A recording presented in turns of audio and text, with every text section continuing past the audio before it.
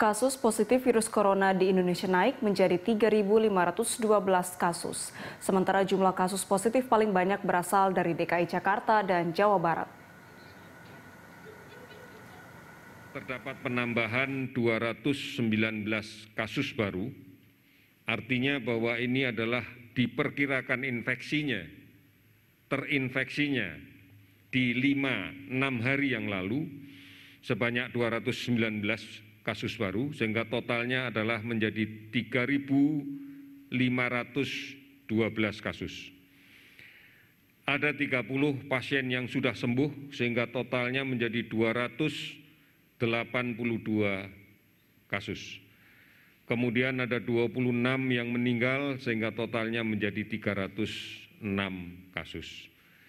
Mari bersama-sama kita harus menyadari betul bahwa proses penularan yang terjadi di tengah-tengah masyarakat harus kita hentikan, harus kita akhiri dengan menjaga jarak, menggunakan masker, tidak perlu keluar rumah jika memang tidak mendesak sama sekali kurangi resiko resiko terpapar dengan tidak melakukan perjalanan ke mana pun